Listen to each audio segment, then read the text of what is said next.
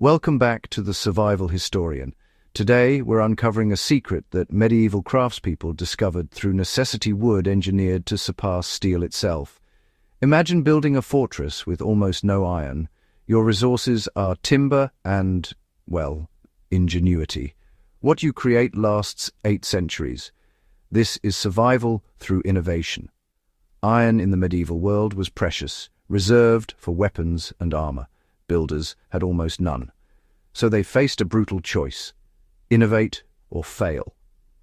Medieval artisans responded by mastering wood at a level modern engineers are only now rediscovering. Untreated wood seems fragile. It warps, rots, burns, splinters. But medieval craftspeople didn't accept these limitations. They engineered around them through three revolutionary practices curing, coating, and joinery. Medieval wood preparation was a discipline of patience and precision. Logs were stacked with air gaps and left to season for years, allowing moisture to escape slowly and evenly. This prevented warping and created material twice as strong as hastily dried wood. Some craftspeople went further. Water seasoning, submerging logs in ponds for months or years, removed the starches and sugars that fed rot and insects. The wood emerged darker, denser, and profoundly resistant to decay. Heat treatment took this further. Master craftspeople slow-baked timber, causing subtle chemical changes in the cellulose that strengthened the molecular bonds between fibers. Mechanical densification completed the transformation. Weighted presses compressed wood, squeezing out air and increasing density to levels of astounding hardness. If curing provided internal strength, surface treatments provided external armor.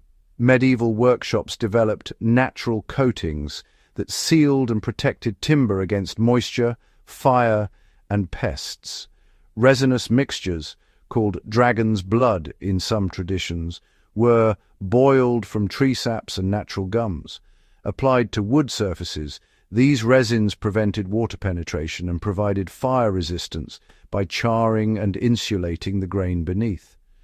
Mineral-based treatments complemented them. Groundstone mixed with lime and natural oils created protective shells that hardened on the wood and repelled insects. The genius was understanding that wood's true weakness wasn't its core strength, but its permeability. By creating barriers, organic and mineral, medieval craftspeople sealed wood against destruction. Properly treated beams outlasted the very stones surrounding them. The true revolution lay in geometry.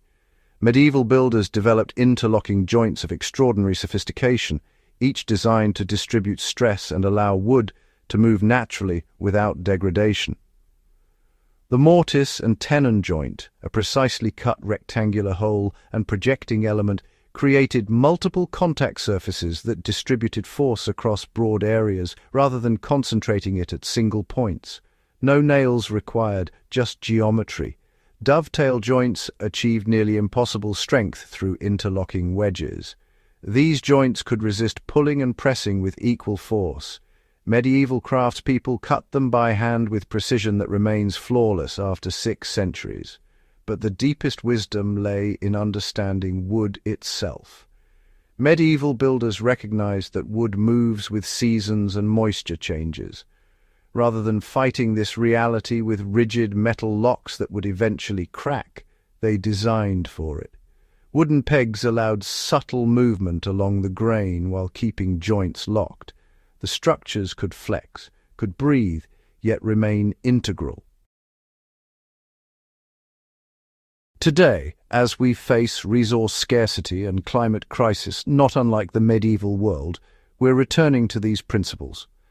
Modern materials scientists have created superwood, chemically treated and compressed to rival steel. Yet they've simply rediscovered what medieval artisans understood through intuition and experience. The principle is constant. Remove what invites decay, densify structure, create surfaces that repel water, respect wood's nature. Medieval craftspeople were pioneers of what we now call sustainable building. They sequestered carbon in structures that have lasted centuries without the energy-intensive production of steel and concrete. If we restored medieval knowledge and combined it with modern science, we could create truly sustainable alternatives to the materials poisoning our world. Medieval structures still stand, their lessons remain legible in every precisely fitted joint, every treated beam. Throughout history, human survival hinges not on abundance, but on ingenuity. When resources are scarce, we innovate. Medieval artisans facing a world without iron became masters of wood. Their bridges still span, their beams still bear weight. This is the inheritance worth protecting, not monuments, but knowledge the understanding that to survive we must work with nature rather than against it. If you found yourself inspired by the ingenuity of the medieval world, like, share and subscribe to The Survival Historian for more stories of how human resilience and respect for the natural world shape our past and future. Because survival is never about having the most resources. It's about understanding what you have and wielding that knowledge like a true craftsperson. Thank you for joining us. History is waiting to teach us.